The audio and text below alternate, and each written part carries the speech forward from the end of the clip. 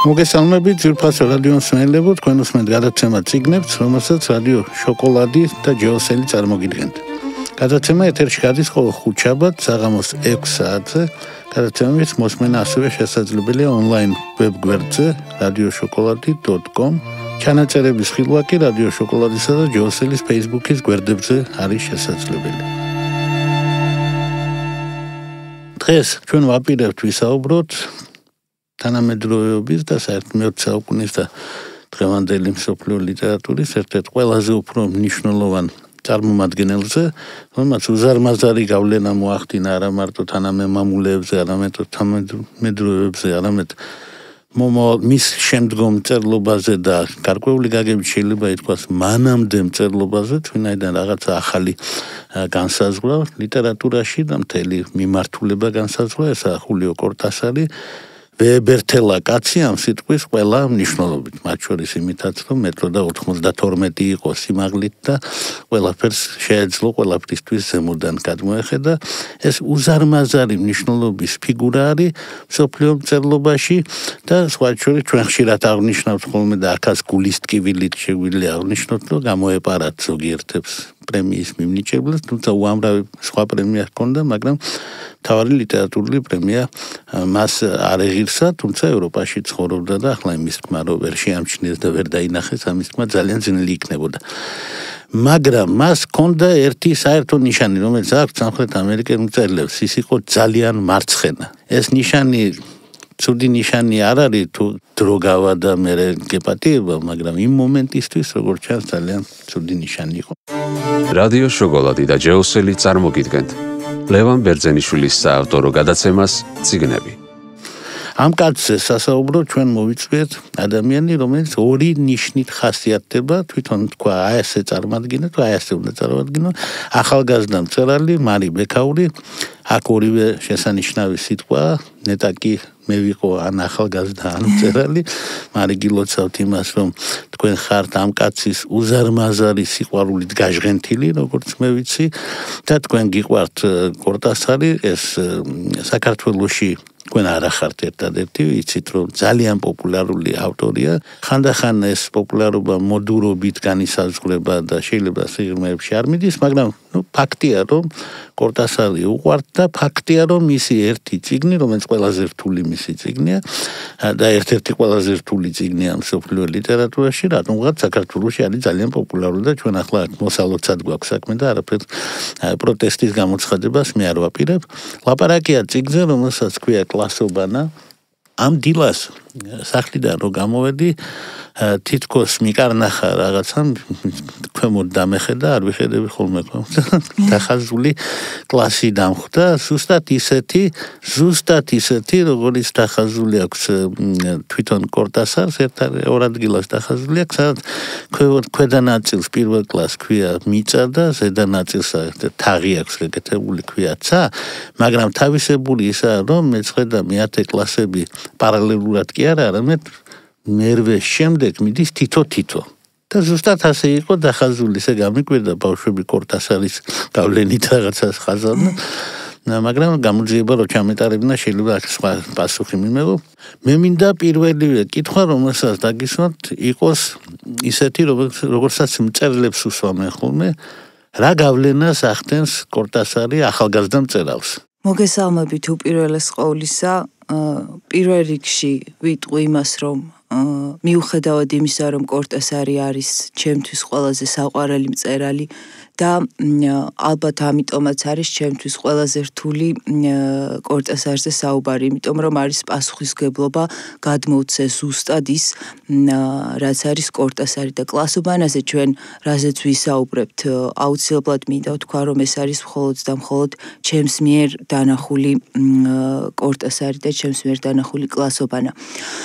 კორტესარს უდიდესი გავლენა აქვს ახალგაზრდებზე, იმიტომ რომ ქმნის მაგიას და კორტასარის მაგია და ფანტასტიკა არის ძალიან რეალისტური და სწორედ ამაში მდგომარეობს კორტასარის მთავარი ხიბლი. და არის კიდევ ძალიან მნიშვნელოვანი ის რომ ჩანს ლათინო ამერიკა რამდენიც არ უნდა ილაპარაკონ იმაზე რომ კორტასარი არის პარიზელი მწერალი ეს მაინც არის არგენტინელი და ამასაც აქვს თავისი მიმზიდველობა. თქვენ უკვე ახსენეთ ერთი მომენტი.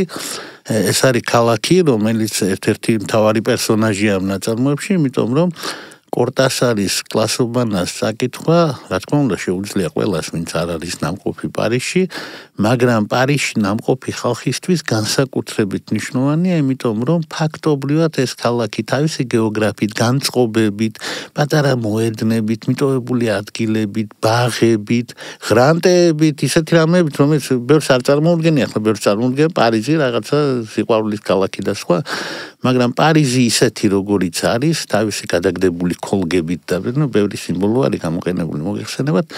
ეს პარიზი ცოცხლდება ჩვენს წინაშე როგორც ერთ-ერთი პერსონაჟი და თქვენ ძალიან სწორი რამ აღნიშნეთ, კორტასარი არ იქცა. არა მარტო ფრანგ მწერლად, ის არ იქცა ევროპელ მწერლად, ისე როგორც პარიზში ცხოვრობდა მთელი ამერიკის შეერთებული შტატების მწერლობა, მაგრამ არც ხემიგუეი არის ევროპელი მწერალი ბუნებრივია, თუმცა პარიზელი მწერალი იყო დიდხანს და მით უმეტეს არ არის აბსოლუტურად არაფერი არ ცხია ევროპელებისა ფრენსისკო ფიჯერალდ. მე მინდა ამაზე გითხოთ. ეს ქალაქი რომლიდან რომელიც არის რომლიდან გაგდება გავს ძალიან სამოთხიდან გაგდებას. და ეს იქნება ეს იქნება ამ ნაწარმოებში იქნება თან ისეთი ფორმი ჩვენ რო ვიცით ქართველებმა კარგად დეპორტაციის ფორმით ასე ვთქვათ ეს ქალაქი სპეციალურად აღებული ვინაიდან მას კარგად იცნობდა ავტორი იქ ცხოვრობდა თუ რაღაცა სხვა სიმბოლური დატვირთვაც აქვს თქვენ როგორ კითხულობთ კლასობანას ამ კლასებს იცით რა არის მე მგონია რომ კორტასარს ძალიან იზიდავდა და მოსწონდა პარიზი. აი თქვენ რაც გვით ზუსტად პარიზი იყო 64, მაგრამ კორტასარს ეწეოდა მაინც ასე ვთქვათ ნოსტალგია თავისი სამშობლოსი. პარიზში, პარიზი კარგი იყო კორტასარის ნაირი ადამიანისთვის, ანუ კარგი თავშესაფარი გამოდგა თუ შეგვიძლია ასე ვთქვათ. აი კლასობანაშიც ხო პარიზის ეპიზოდები არის რაღაცა ბოჰემა, გართობა არის აგრეთვე ძალიან ინტელექტუალური საუბრები იმ ადამიანების სიყვარული და ასე შემდეგ. პარიზი ძალიან მომხიბვლელია და მით უმეტეს კორტასარი აღიარებდა რომ ის იყო სნობი და ის ყოველთვის იჭერდა დისტანციას სხვა ადამიანებთან და პარიზში ის თავს გრძნობდა კომფორტულად. მე დამაზუსტებელ კითხვას დაგისვამთ. პარიზი არის მისთვის გარკვეული გაგებით ის გარემო, სადაც ის მისი რეალიზაცია უნდა მოხდეს და ეს არიან ადამიანები კუჩებთან ერთად. არიან ადამიანები და განსაკუთრებით მნიშვნელოვანია, როცა პარიზი მონაწილეობს მის მიერ გამოგონილ თამაშებში. ვინაიდან არ არის დასამალი რომ კლასობანა როგორც არის თამაში ისე ეს რომანიც არის თამაში ხანდახან მას ადარებენ რიოში მარგალიტები თამაში გრაფ ბისერ რაც არის თქვა ცნობილი რომანს ხანდახან ადარებენ ჯოისის ულისეს ბევრამეს ადარებენ ხოლმე თუმცა არცაც არ გავს რეალურად უფრო მას გვანან ხოლმე სხვა ნაწარმოებები. აი აქ არის ასეთი თამაში რომ ორასიო და მაგა მოილაპარაკებენ რომ აი ამ უბანში ექნებათ მოძრაობა და ცალცალკე დადიან და ისინი აუცილებლად ხდებიან ხოლმე ერთმანეთს და მე მიდის ანალიზი როგორ შეხვდნენ ისინი ერთმანეთს. ახლა მე და თქვენ რომ მოვინდომოთ და თბილისში კავას უბანში ეს გავაკეთე აუცილებლად შეხვდებით ერთმანეთს და თბილისი პატარა პატარა კუჩები და სადმე გადავიყრებით და პარიზი მე წარმომიდგენია რომ ეს კარგი თამაში არის და არის რაღაცა ძალიან ძვირფასი იმაში რომ ეს გმირები ერთმანეთს ხვდებიან ხოლმე. ოღონდ აა უნდა კითხველს გული დავწვიტო თუ ვინმეს არ წაუკითხავს პერსონაჟი ყავს ისეთი რომელმაც არ იცის რა განცფლობს. არც პარიზის ფასი იცის არც იმ ქალის ფასი იცის. გონია რომ განათლებაში არის ფასი სამწუხაროდ მაგრამ მე ყველაფერს გაიგებს როგორც ხდება ხოლმე.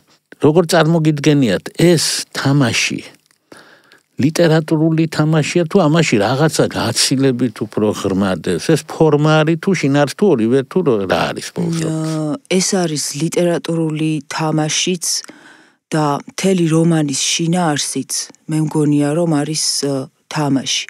აი მაგალითად კლასობანაში ხო ჯაზს ეთმობა ძალიან დიდით, რომ ჯაზზე საუბრებს და თვითონ რომანის ძალიან გავს იმპროვიზაციულ ჯაზს.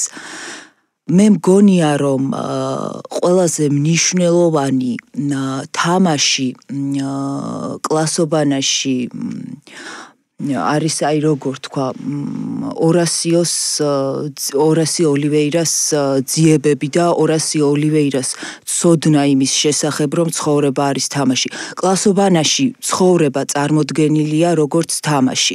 იმიტომ რომ რეალურად ეს თუ კარგად გავაანალიზებთ ხო მე მგონია რომ ეს რეალურადაც ასე არის.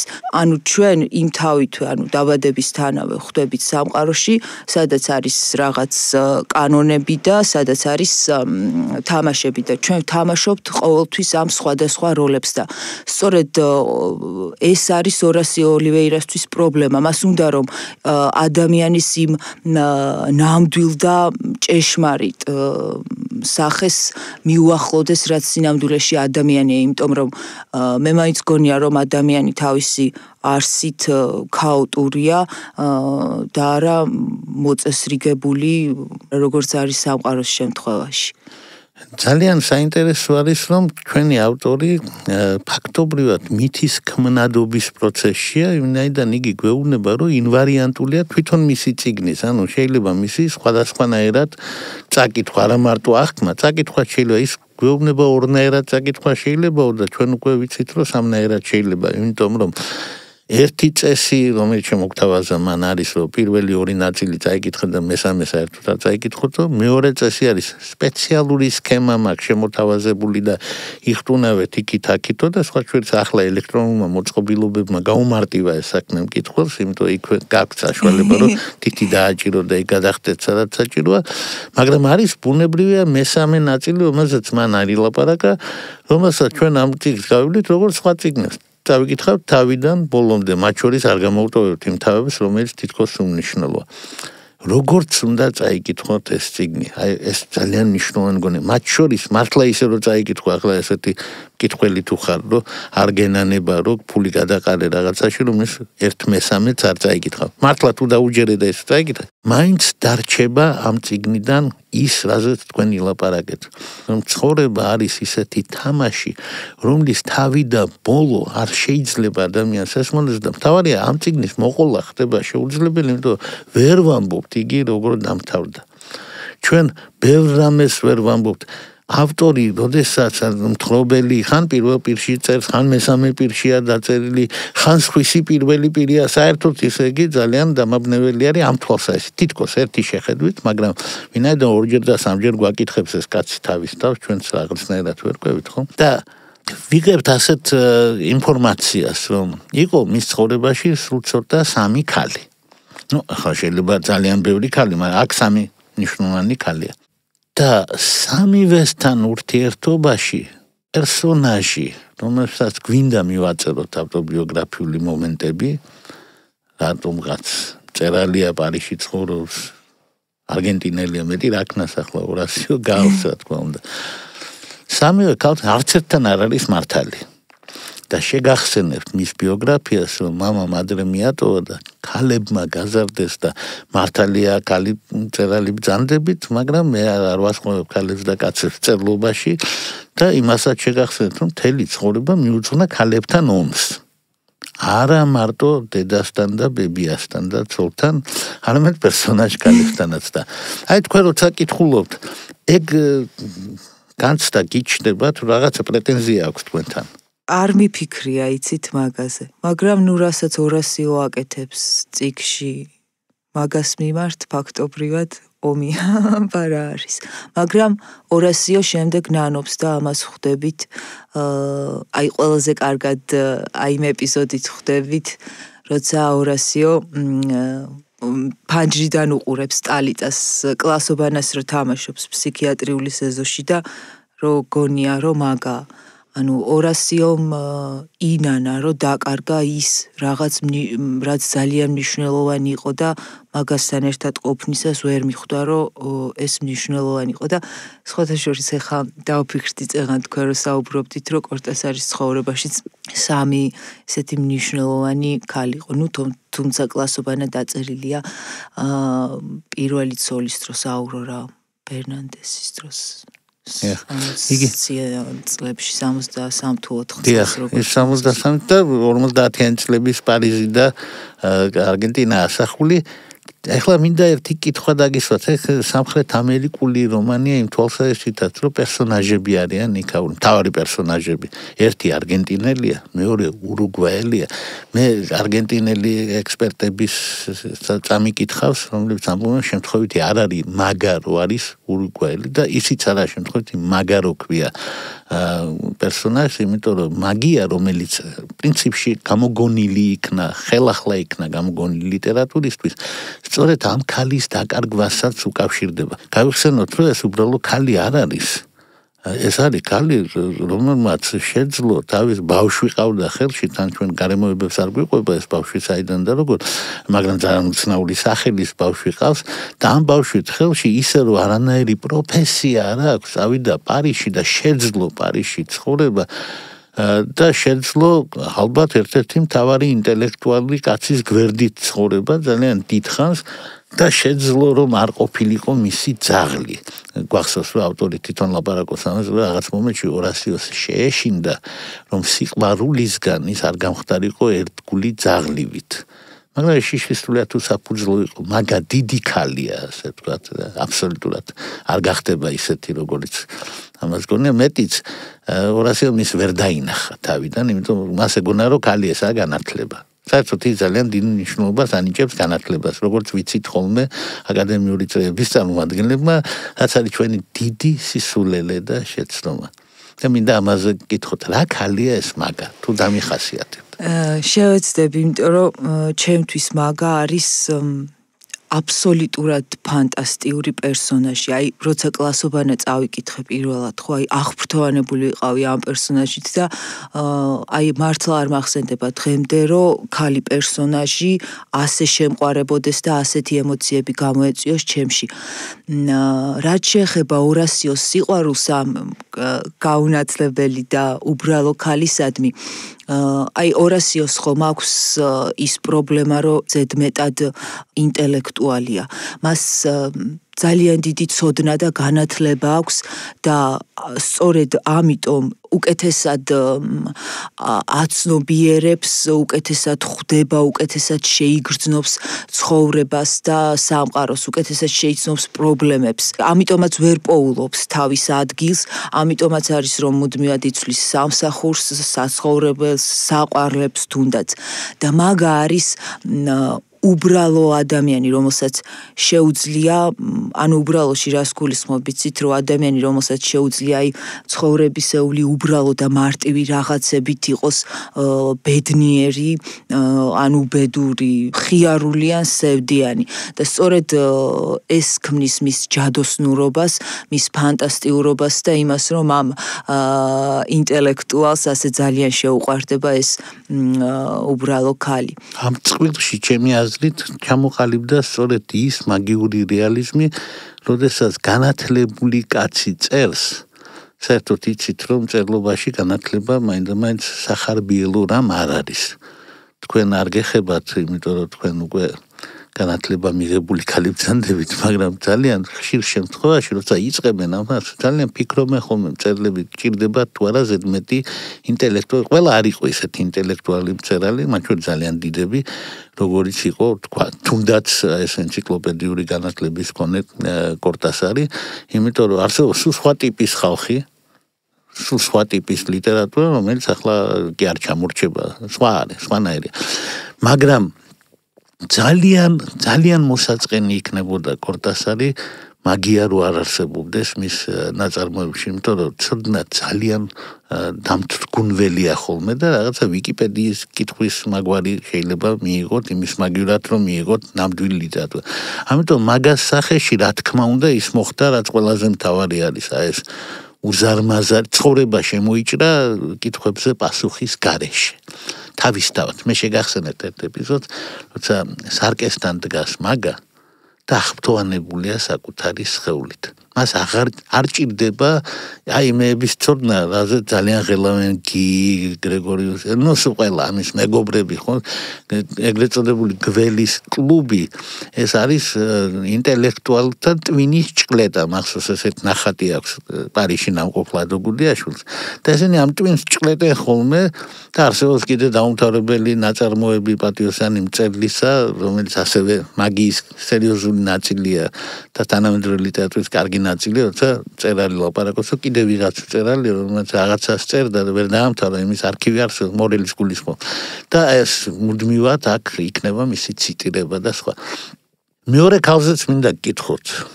ფრანკ კალზე პოლასზე რომელიც მიტოვებული იქნა, იმიტომ რომ კერდის კიბო აღმოაჩნდა. რა უბედურება ეს? რაღაცა ქართული მოძალადე კაცივით იქცევა ორასიო. თუ არა. პოლას პერსონაჟი არ მიყვარს, იმიტომ რომ როცა პირველად რო წავიკითხე კლასობანა, საკმაოდ პატარა ვიყავი და ძალიან ისე განვიცადე, რომ ორასიო დადიოდა პოლასთანაც. ჩემი აზრით, პოლა მაგას ვერც შეედრება, იმიტომ რომ მაგა არის მართლა განსაკუთრებული ქალი და აი ახლა დავფიქრდი მართლა იმაზე, რომ რაც ძალიან მნიშვნელოვანი არის, რომ მაგა არის ურუგვაელი, პოლა არის პარიზელი. ჩვენ თუ დავაკვირდებით წიგნის პერსონაჟებს თუ შევადარებთ მაგა, ტალიტა და ტრეველერი, ანუ ის არგენტინელები და რა თქმა უნდა ორასი ოლივეირა არიან უფრო დასამახსოვრებელი და უფრო განსაკუთრებული პერსონაჟები, ვიდრე არიან დაუშვათ პარიზელი ადამიანები. ну პოლაზეც იგივე ითქმის ჩემთვის ის ჩვეულებრივი ქალი არის ორასიო საერთოდ ცუდად იქცევა ამ ქალებთან, მაგრამ ორასიოს პრობლემა ის არის, რაც მაგამიცის სხვათა შორის, რომ ორასიო ვერ პოულობს წეღანაც, ვერ პოულობს საკუთარ ადგილს, იმიტომ რომ აი როგორც კლასობანაში არის მიწიდან წამდე ხო ორასიოს უნდა რომ რაღაც ჭეშმარიც და რაღაც აბსოლუტს მიუახლოვდეს. მაგრამ ამას და არის ის როგორ მოიქცეს ის ძალიან ქაოტური პიროვნება არის. და ეს არის მისი პრობლემა. აა და ამიტომაც იქცევა ხოლმე ცუდად. თქვენ ახსენეთ ძალიან საინტერესო სიტყვა აბსოლუტი, რომელიც რომანის ერთ-ერთი ცენტრალური სიტყვა, იმიტომ რომ მაგა ეს უბრალო ურუგვაელი ქალი, რომელიც ცდილობს რომ იყოს მომღერალი, რომლის შვილი სოფლად არის, იმიტომ რომ იქ ქალბატონ ირენს აყავს მიბარებული, ასაც ფულს უხდის, იმიტომ არ აქვს საშუალება შეინახოს. ეს ქალი იკითხავს რა არის აბსოლუტი. და მას მიდეცემა განმარტება, საკმაოდ ენციკლოპედიური განმარტება, რომ აბსოლუტი არის ის, რომ აი ყველაფრის იმას შეიცავს და კვინტესენცია იმის ამის და უცებ იგი გადათარგმნის ამას ადამიანურ ენაზე. რა თქმა უნდა, ამას აი მე ეჭვება, რომ ვინმე მაგა მართლა არსებობდეს, ვისაც ეს შეეძლოს ეს წერალმა გააკეთა, რა თქმა უნდა. მაგრამ მე მაგალითად კაც მკითხველს ამ ციგნიდან ყოველთვის გამომყვა ის სევდა რა დეგენერატები ვარ ჩვენ კაცები როგორ კარგად რა რა ცუდად ვექცევით როგორ ვერ ხედავთ ქალებს.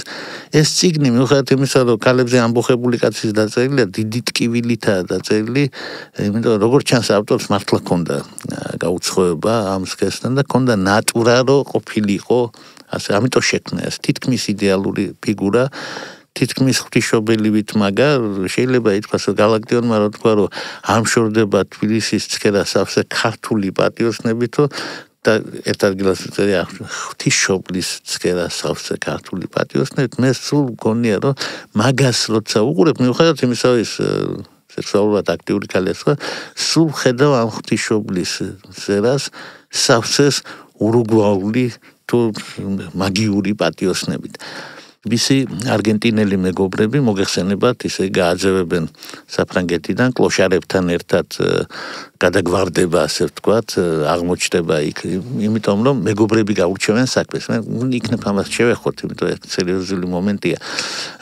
მაგას შვილის სირტილის გამო მისი გულცივობის გამო, მისი ამ ბავშვთან რაღაცნაირად ვერ დაამყარა და არ შეამოვნებდა ეს ბავშვი პირდაპირ თქვა, ეს საოცრებაა, იმიტომ რომ კორტასარი ჭკუას კარგავს ბავშვებს, სხვაგან სადაც ბავშვი გამოჩნდება, ეს არ არის ჩვეულებრივი მწერალი, ბავშვებს თავს ევლება ხოლმე და აქ ორასიომ გამოავლინა ძალიან სერიოზული სიცივე ბავშვის მიმართ და მისი დაღუპვის მიმართ ძალიან ესეთი არის, გულგრილია და მეგობრებმა საქმე გაურჩიეს.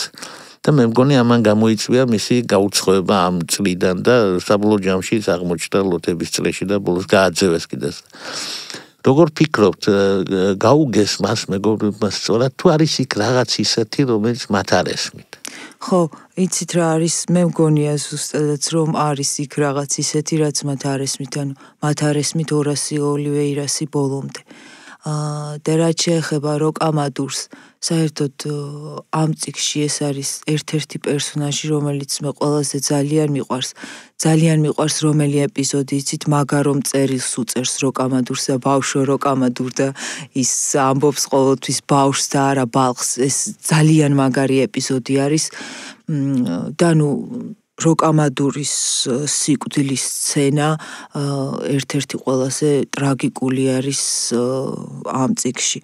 ნუ მე ახლა ისე გამოდის რომ სულ ცდილობ რომ ორასი ოლივეირა გავამართლო, რაც უყვარდათ ის კალებს არა დასამალი და კიდე უყვართ როგორ ჩანს. მასში შიშს იწევს. მე ესე მგონია ის ჩვეულებრივი და ყოფითი ცხოვრებისეული რაღაცები და ის მგონი ბავშვი მას უბრალოდ ოჯახს აგონებს და ეს ოჯახის ეშინია საშინლად.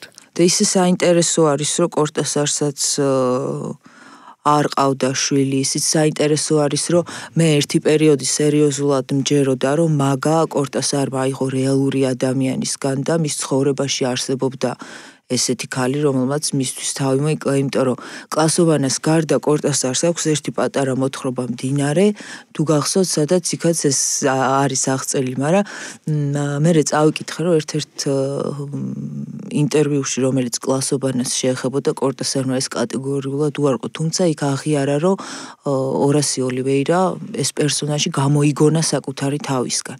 რაც არნიშნავს, რომ ეს ერთ-ერთი კორტასარი. უნდა ვთქვა, რომ კორტასარი ერთ-ერთი იშვიათი ავტორთაგანია, რომლის ინტერვიუები მის რომანებზე არანაკლებ საინტერესოა, იმიტომ რომ იგი არ მალავს თავის ოსტატობას და ზუსტად ამბობს იმას, მეც ახლა უამრავ ინტერვიუ მაქვს. ნანახი განსაკუთრებით სიკტივის წინ ორი წლით ადრე პარიმაჩის მიცა მან ინტერვიუ, რომელიც ფაქტობრივად გასაღებია მისი შემოქმედების და ახლა არ ამგონია რომ ასე უნდა მიურგეს ვინმე მწერალს არ წაიგითხოს შემოქმედება და ინტერვიუები წაიგითხოს მაგრამ თუ კი ვინმე არ იცის ეს მისი მწერალია თუ არა და ამ ხელაწიგნების კითხვა ჯერ ეზარება ერთი ინტერვიუ მაინც წაიგითხოს იმ წუთას გამოჩნდება რა და როგორ არის. მე მინდა პოლოსკენ წავიყვანოთ მაგრამ ერთი კითხვა დამრჩა თქვენი აზრით, იქ ღია ფინალი აქვს, ასე თქვა, non finito არის, იმიტომ არ ვიცით როგორ მთავრდება ეს ნაწარმოები, ინვარიანტულია. კაცი დგას პანჯარასთან galaktionivit. თან გადახტება ან არა. საერთოდ აპირებდა. აპირებდა ბევრი რამის გამო, მათ შორის იმის გამო, რომ კინაღამ თავისი არსებით, კინაღამ ახლა მეგობრის ოჯახი და ანგლია, იმიტომ იქაც მეგობრის ცოლსაც შეხედა, იმიტომ კალების კალებისკენ ყურება ახასიათებს. ორასიოს და მასაც აქვს რაღაცა ისეთი მომხიბლობა ქალის მოწონთი. და რეალურად რა მოხდება? გადახტება თუ გადარჩება? გადახტება და გადარჩება. ეს არის ძალიან საინტერესო პასუხი, იმიტომ რომ როგორც წესი კაცებს გონიათ რომ არ გადახტება და აი თურმე ქალებს გონიათ რომ არ ვიცი ახლა ამდენად ფართლა იყოფა სქესის მიხედვით, მაგრამ ვიცი რომ ამ კითხვაზე პასუხი ძალიან ისეთ განსხვავებულია. რადიო შოკოლადი და ჯეოსელი წარმოგიდგენთ. ლევან ბერძენიშვილის საავტორო გადაცემას ციგნები. ჩვენ საუბრობდით ახალგაზრდა მწერალ მარი ბექაურთან, საუბრობდით კორტასარზე. საუბრობდით კლასობანაზე, უნდა შევახსენო ყველას, რომ კორტასარი ყველაფერთან ერთად არის უამრავი სხვა ნაწარმოების ავტორი და ამავე დროს ესა კაცი წარმოუდგენელი არის ბევრი მას იცნობს ისე რომ არ იცნობს. მაგალითად ბრევს ნანახი აქ ანტონიონის ბლოუაპი და არ იცის რომ კორტასარია ნუ კორტასარის მიხედვითაა გაკეთებული კიდე ბევრი რამ არის ამ ავტორთან დაკავშირებული. დავტოვოთ ზოგი საიდუმლო ზოგი რამ პასუხ გაუცემელი ვინაიდან მე დარწმუნებული ვარ, რომ ბევრი მკითხველი მას ბევრჯერ მიუბრუნდება. სხვათა შორის მინდა ვთქვა, ჩვენ ბებრები დავიდან როცა შევეხეთ, დავინახეთ ჩვენ პირველად კორტასარი, ეს იყო სწორედ ის ნაწარმოები, რომელშიც იგი გამოჩნდა როგორც ჯაზის წინვალე სპეციალისტი, თუმცა ჩარლი პარკერ, პარკერზე დაწერილი რომანი ეს შესანიშნავი ეს საბჭოთა დროში ეს იყო როგორც რაღაცა ჰაერი, რომელიც მოლოდნელ ჩაგვანა ჟანგბადი ასე ვთქვათ, იმ საშინელებაში საბჭოთა დროში გამოჩნდა ეს ნაწარმოები. მინდა იცოდეთ, რომ პირველი სიყვარული კორტასარის მინა ჩემს თაობას აქვს ძველი დროიდან. ის ჯერ კიდევ ცოცხალი იყო, როდესაც ჩვენი შევიყვარეთ, რაც კარგი ამბავი იყო. შეგახსენებთ, რომ რადიო შოკოლადის ეთერში თქვენ უსმენთ გადაცემა ციგნებს, რომელიც ეთერში გადის ყოველ ხუთშაბათს საღამოს 6 საათზე. გვისმინეთ ონლაინ რეჟიმში მისამართზე radioshokoladi.com გადაცემები ჩანაწერების მოსმენა რადიო შოკოლადისა და ჯოსელის Facebook-ის გვერდებზეც არის შესაძლებელი. გამოგვეხმაურეთ, მოგწერეთ Facebook-ის გვერდებზე თქვენი კითხვები, რჩევები და სურვილები, ჩვენ მათ უპასუხებთ. გადაცემაზე კი მუშაობდნენ ავტორი და წამყვანი ლევან ბერძენიშვილი, ჟურნალისტი და პროდიუსერი გიორგი ჭეიშვილი, ხმის რეჟისორი თორნიკე ფოფხაძე.